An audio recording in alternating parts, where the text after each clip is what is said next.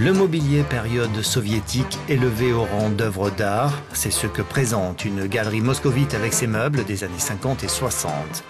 Pour certains, il ne s'agit ni plus ni moins que d'une adaptation de l'avant-garde soviétique à la découverte d'un design que l'on n'imaginait pas forcément.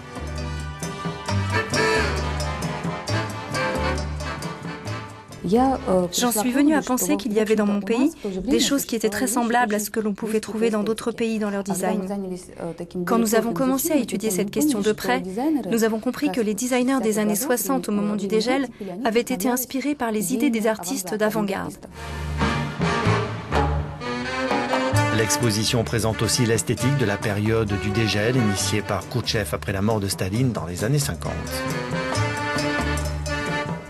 Parmi ces jeunes créateurs de l'époque, Yuri Sluchevsky, aujourd'hui professeur dans une école d'art de Moscou, pour lui le design était aussi dicté par la construction de grands ensembles résidentiels faits de petits appartements.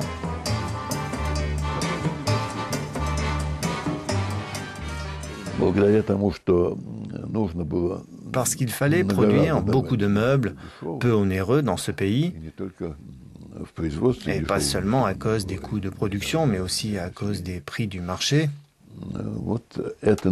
Cette tendance a survécu. Et elle a même réussi. Pour moi, cela a permis de créer de belles choses.